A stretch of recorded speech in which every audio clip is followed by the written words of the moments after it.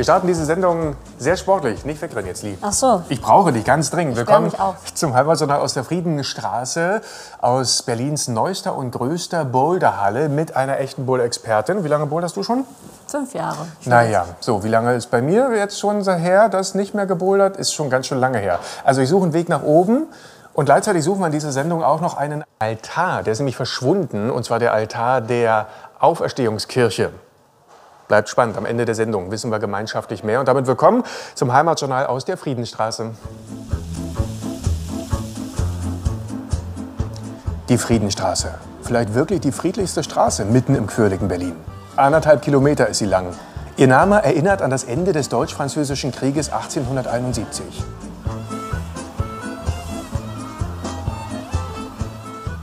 Und friedlich sind hier nicht nur die Friedhöfe, sondern auch drei Kirchen.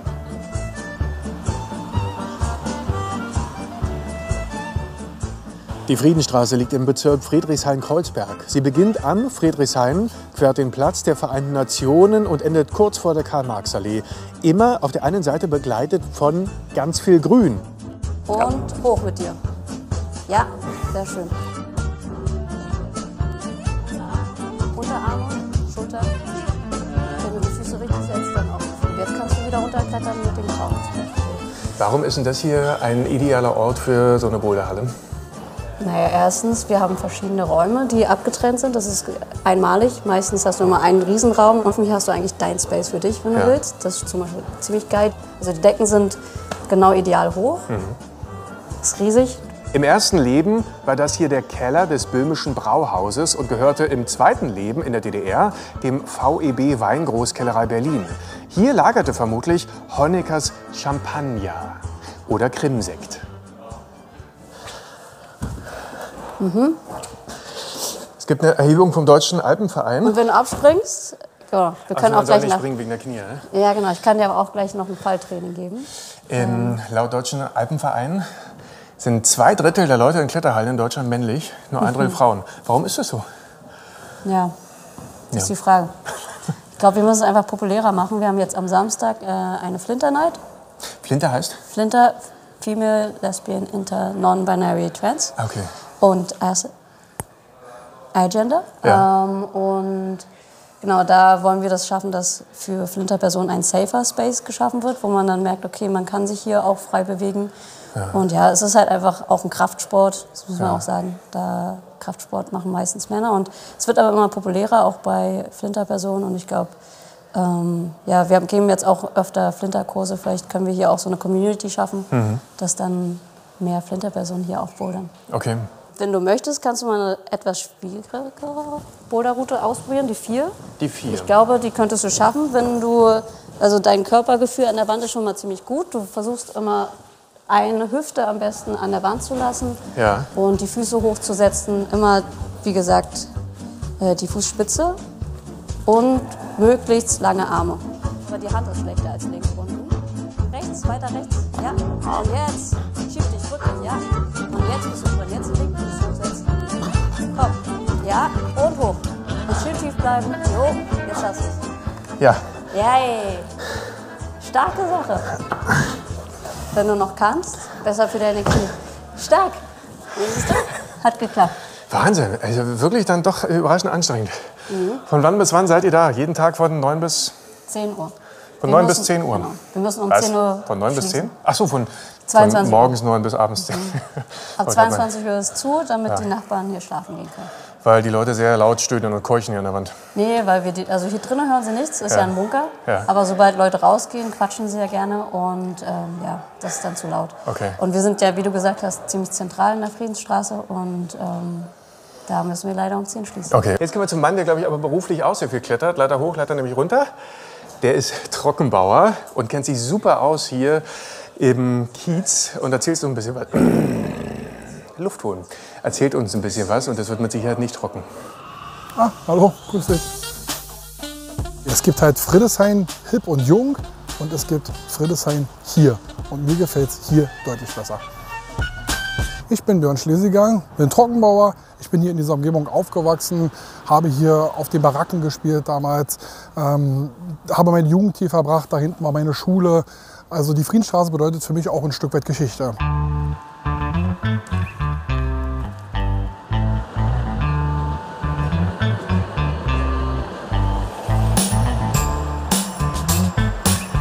Bin geboren in Friedrichshain und 1987 direkt hierher gezogen mit meiner Familie damals, Mutter und Vater. Ähm, da hieß es noch Leninplatz. Ist ja ein stinknormaler Plattenbau, wenn man es mal so nennen darf. Äh, wir haben ihn früher U-Block genannt, weil er wie ein U aussieht. Und ich habe dort vorne gewohnt in der Nummer 11. Hier ganz oben, 11. Etage, wo man jetzt die schöne schwarze Markise sieht, da habe ich gewohnt. Und von dort aus hatte man einen super tollen Blick direkt auf den Linienplatz.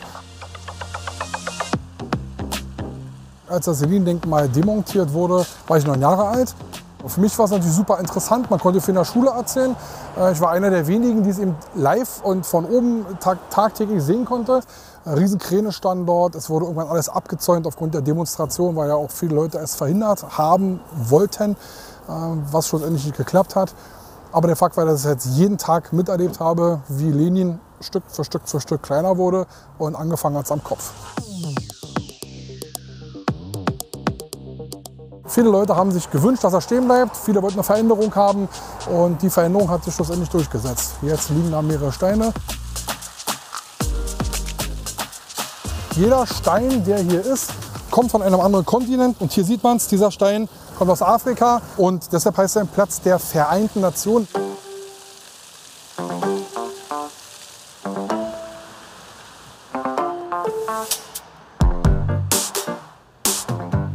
Zur Wendezeit standen hier relativ viele Autos rum, Wartburgs, Trabis, die halt alle verlassen waren, Scheiben eingeschlagen. Jeder hat seine Ersatzteile ausgebaut. Ja, und auch ich habe mal wirklich Bockmist gebaut, äh, indem ich halt ein Autoradio mitgenommen habe. Das lag da so verführerisch auf dem Beifahrersitz, griff rein und eine Minute später klickten dann die Handschellen und dann ging es eben äh, ein Polizeiwagen ab zur Polizeiwache. Die war hier um die Ecke rum. Mitte, Ende der 90er Jahre wurde dieses Polizeirevier dann auch geschlossen. Jetzt steht das Gebäude leer. Riecht immer noch nach diesen alten Akten, echt schrecklich. Ja. Nur weg hier.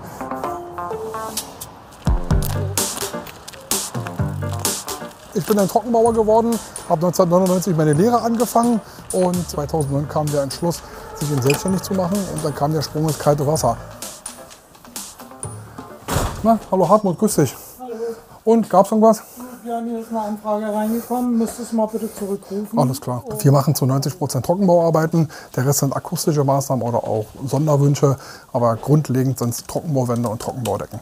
Meine 18 Mitarbeiter sind Gott sei Dank in ganz Berlin verteilt. Wir haben also gut zu tun, auch bis ins nächste Jahr hinein. Auf dieser Tafel sieht man die Einsatzplanung von uns. Auf der linken Seite stehen die Bauvorhaben. Hier stehen die einzelnen Wochen dran mit den Teams. Und hier, für dieses Team, gehe ich jetzt Schrauben holen. Meine Familie ist halt mein Unternehmen, deshalb bin ich ledig. Wir halten hier alle zusammen. Es ist ein sehr freundschaftliches Verhältnis. Ich lasse nicht den Chef raushängen, so wie es viele andere machen.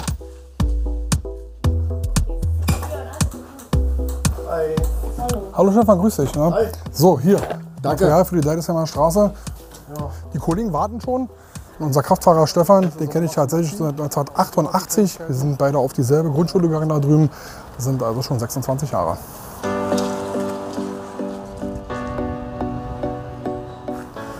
Das ist die neue Metzerei und auch hier haben wir Trockenbauarbeiten ausgeführt. Da gehen wir jetzt mal hoch.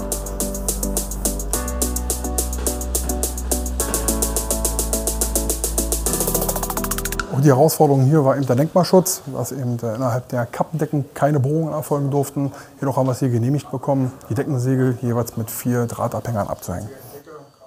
Der Nachhalteffekt, der ist sozusagen auch weg. Ja. Der ist komplett weg. Und es sieht gut aus.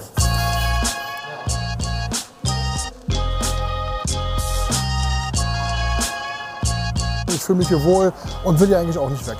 Wenn es dann irgendwann so weit ist, in der Friedenstraße ist da hinten auch ein schöner Friedhof, da wird dann auch mein Leben enden.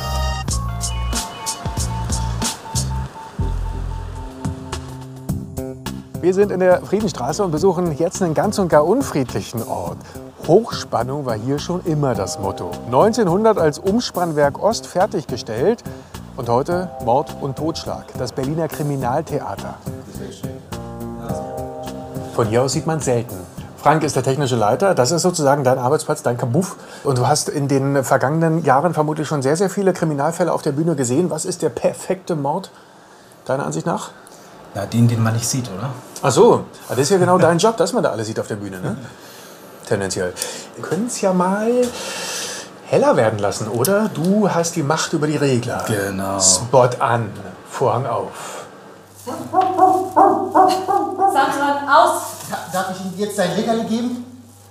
Ach ja, bitte nur zu. Er ist in der Küche, wie Sie hören. Ja. Ach, da- das ist ja für Sie. Mein Leckerli. Sozusagen, ja. Dankeschön, da war schon sehr viel Schönes dabei. Wir kommen jetzt runter. Wenn du kommst, versuch ein bisschen mehr diesen Stress. Eigentlich unhöflich, so eine Probe zu unterbrechen. Guten Tag. Ach, schönen Tag, hallo. Andreas, du bist der Chef, ne? Olli.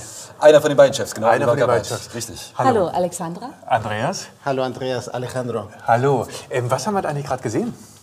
Wir haben gerade eine Szene aus dem Stück Das Paket von Sebastian Fitzek gesehen. Ah, interessant. Und wer ist der Mörder? Geht's um den Mord? Es, es hat ja irgendwas Kriminelles vermutlich an Es, sich. es hat was Kriminelles, ja. In diesem Fall geht es mal nicht um einen Mord, sondern um ein anderes Verbrechen.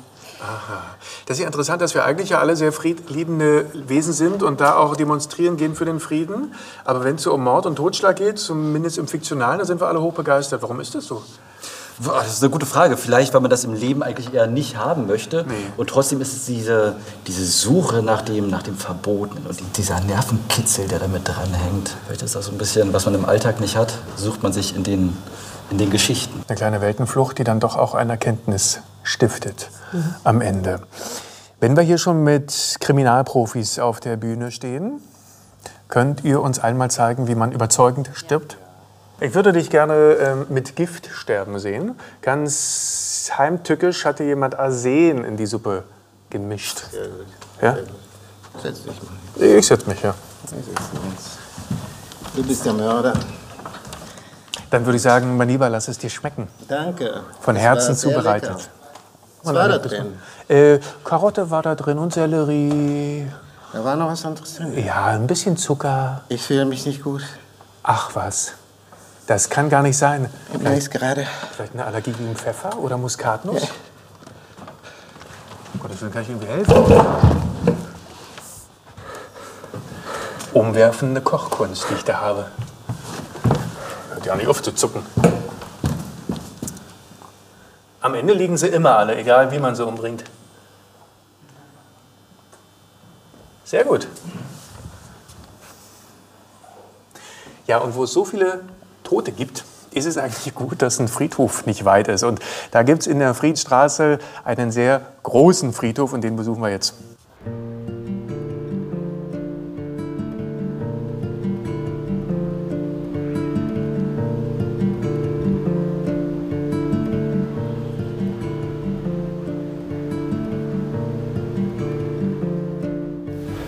Der Plan ist heute, die Hecke reinmachen. Frank Bratz ist hier einer der Friedhofsgärtner. Seit drei Jahren. Seine Gießkanne heißt wie er. Mittlerweile fühlt er sich hier wohl. Das war am Anfang nicht ganz so. Naja, da überlegt man schon, wenn man über ein Grab läuft, da liegt einer unter oder wenn man irgendwo buddelt. So, das ist dann schon ein komisches Gefühl zum Anfang. Ist ja klar. Nach ein paar Jahren ist das mehr für einen mehr wie ein Park. Ein friedlicher Park als Friedhof. So. Der Friedhof in der Friedenstraße. Für viele tatsächlich mehr als eine Ansammlung von Grabstätten. mitten in der Stadt so eine kleine Oase. So ein bisschen Ruhepol, ein bisschen zur Ruhe finden, kurz mal entspannen und mal ein bisschen raus aus dem Trubel, aus dem Stadttrubel. Hier liegen unsere Leute, hier wollen wir selber hin und selber bin ich auch schon über 90. Bei Friedhofsgärtner Frank Bratz schaut der Chef vorbei. Hallo. Hi, hallo. Ja, ich bin jetzt fertig. Super. Soweit drin die Hecke. Dann ist alles vorbereitet. Olaf Bartenstein ist der Friedhofsverwalter hier. Und dann, Kann sich zum Frühjahr entwickeln. genau, ist es fertig. Supi.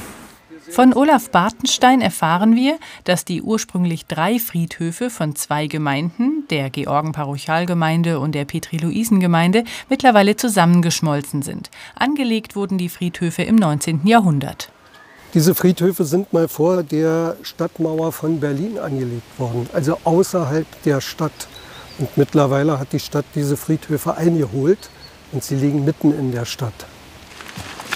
Von zu vielen Gräbern oder Platzmangel kann jetzt keine Rede mehr sein. Im Gegenteil. Es war mal alles belegt. Dicht an dicht. Ein Grab neben dem anderen. Mittlerweile alle Gräber aufgelassen und äh, von uns abgeräumt und Gras angesät. Das kommt immer häufiger vor durch den Wandel der Bestattungskultur weil immer mehr äh, die Tendenz zu Urnen besteht und äh, natürlich der Platzbedarf einer Urne nicht so hoch ist. Manche legen aber weiterhin Wert auf ein Grabmal. Viele entstehen ein paar Meter weiter in der Friedenstraße in der Werkstatt von Steinmetz Thoralf Rospino.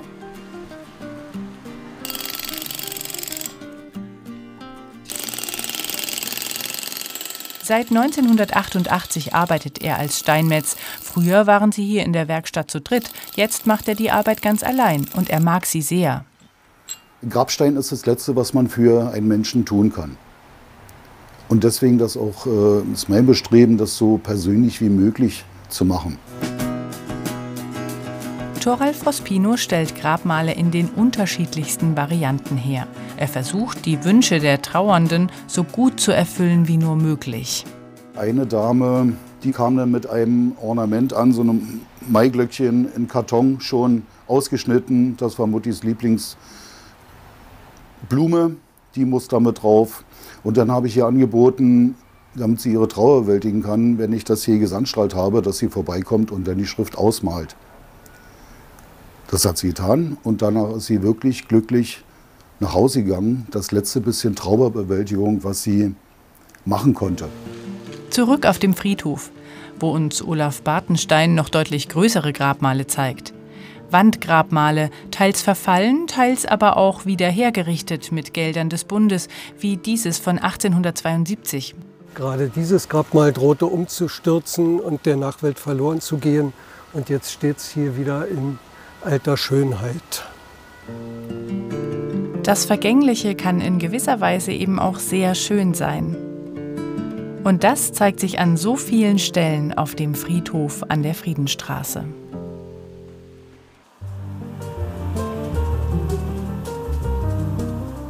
Es gibt hier so einige Orte, die man als besonders friedlich bezeichnen könnte. Zum Beispiel die drei Kirchen, die es in dieser kurzen Straße gibt. Wir sind verabredet in der Auferstehungskirche, die insofern sehr besonders ist, als dass es hier einen Altar gibt, den man nicht auf den ersten Blick sieht. Den muss man suchen. Warum das so ist, lassen wir uns jetzt erklären von der Pfarrerin Marlene Reinke.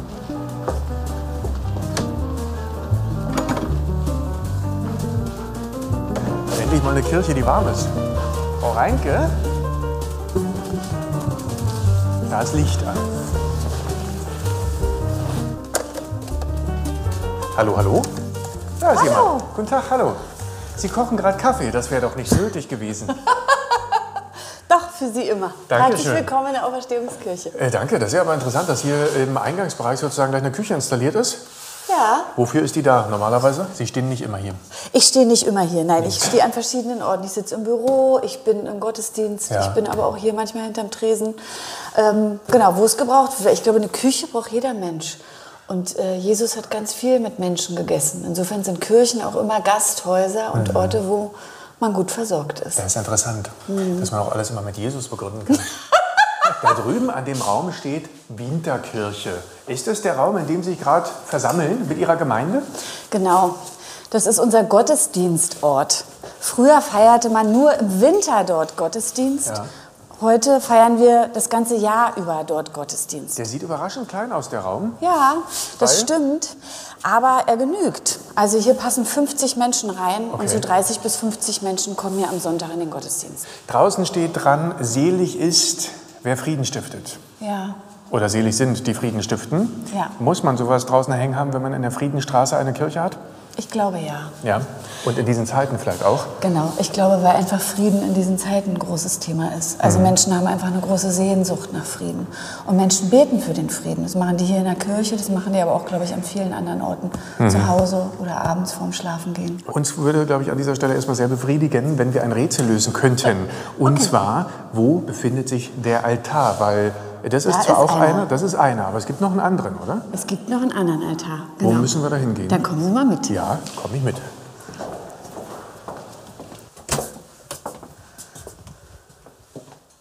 Das ist das Lager unter der Kirche. Das ist das Lager des Umweltforums. Wir haben nur einen kleinen Bereich zum Lager, aber hier lagert unser Altar. Das ist der Altar. Das ist der Altar. Und da drauf liegt das Taufbecken. Sollen wir das äh, Becken mal Soll ich dir runternehmen? das mal zeigen? Ja. Oh ja, gar nicht so leicht, ne? Nee. Muss man als Pfarrerin sonst nicht alleine machen? Nein. Nee. Also ich sehe zum einen, dass der ähm, Altar irgendwie neu modern aussieht. Ja, Der ist noch gar nicht so alt, oder? genau. Der ist sozusagen äh, gemacht worden für den Umbau oder nach dem Umbau zur neuen Einweihung. Ah, Okay, welche Bedeutung hat der Altar für Sie als Pfarrerin? Wie ist so ein Altar optimalerweise gebaut, dass Sie sagen, richtig guter Gottesdienst? Also äh, der Altar ist ein Tisch in der evangelischen Kirche. Der ist und bleibt ein Tisch. Mehr ist es gar nicht. Und damit, genau, ist, und, auf diesem, und auf diesem Tisch gehört ein Kreuz, Ja. eine Kerze und Blumen. Das heißt, wir haben jetzt eine halbe Stunde lang den Leuten erzählt, ey, wir suchen einen Tisch. Das wird super spannend, wir suchen einen Tisch. Jetzt haben wir den gefunden, den Tisch. Den Altartisch. Aber, genau. das, aber das ist ja interessant, dass wir hier sozusagen einen Fahrstuhl haben, in dem Keller stehen, der irgendwie gar nicht mehr nach alten Kirchengemäuer aussieht und auch der Altar neu ist. Sprich, die Kirche da oben, Hm, die sieht vermutlich jetzt auch ganz anders aus. die sieht auch ganz anders aus. Okay. Die willst du auch mal sehen, oder? Aber hallo, wir können jetzt nicht aufhören. Das ist der Saal. Der sieht ganz anders aus, als man sich vorstellt von außen. Wow. Also ich meine, die Orgel, das ist Kirche und, und, und hier das äh, Bleikristallbild, nee, wie sagt man? Bunt? Bleikristall. Ja, so. Glas. Und ähm, aber sonst wie so ein Konferenzraum. Genau, und und hier, hier käme, guten Tag, Hallo. Andreas Jakob. Guten Tag. Hallo. Hallo. Äh, hier äh, kommt der Fahrstuhl dann hoch mit dem Altar. Ganz genau. Okay, haben wir das Rätsel also gelöst. Jetzt ist aber natürlich die spannende Frage, warum wurde sie diese, äh, diese Kirche so radikal umgebaut? Weil sie so kaputt war. Aha. Sie war so nicht mehr zu halten und wir mussten eine Lösung finden, wie wir die Kirche quasi retten können. Mhm. Und äh, ja, und aber uns noch jemand mit ins Boot holen, damit wir hier zusammen irgendwie diesen Raum und diesen Ort beleben können. Wer ist denn der jemand, der mit im Boot sitzt? Hallo, das, Umweltforum. Okay, das ist das Umweltforum. Ja. Was macht das Umweltforum? Ja, gucken Sie sich den Raum an, dann haben Sie eine Ahnung. Also wir führen hier Veranstaltungen durch. Ohne Ähm, Orgel. 70 bis 80 im Jahr, auch Ja. manche mit Orgel.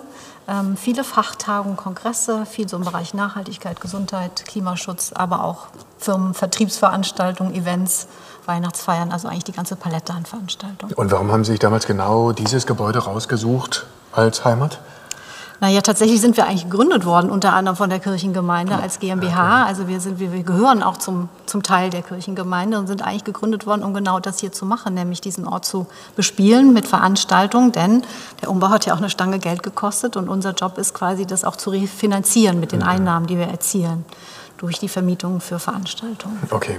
Herr Imke, von Ihnen weiß ich schon, dass Sie sich wahnsinnig gut auskennen als äh, Kirchenmitglied mit der Geschichte der Kirche. Wenn man sich die draußen anguckt, fällt ja auf, dass der Turm irgendwie ganz schön abgesäbelt ist. Ist das original so gewesen? Der fehlt natürlich. Der Der fehlt. Die Spitze fehlt, ganz, ganz einfach. Im Zweiten Weltkrieg war der Turm auf dieser Höhe, der er jetzt ist, tatsächlich runtergefallen. Und dann war auch die Situation, äh, dass auch der gar nicht höher gebaut werden durfte. Mhm. Es gab nämlich einen Beschluss von Walter Ulbricht, dass als die Stalinallee gebaut wurde, keine, äh, die Gebäude nicht höher sein durften als die, als die, äh, die Gebäude der Stalinallee. Okay. Also irgendwie ist es ja schön, dass so eine Kirche ein zweites Leben sozusagen bekommt als Konferenzzentrum. Und trotzdem ist es nicht auch schmerzhaft, dass die Herzkammer eines solchen religiösen Ortes heute nicht mehr für Religion genutzt wird?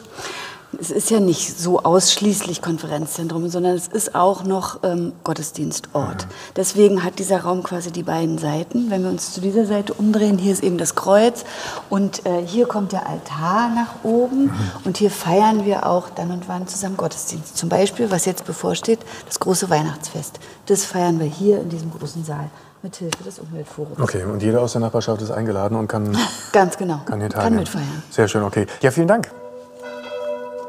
Ah, da wird zum Feierabend geläutet.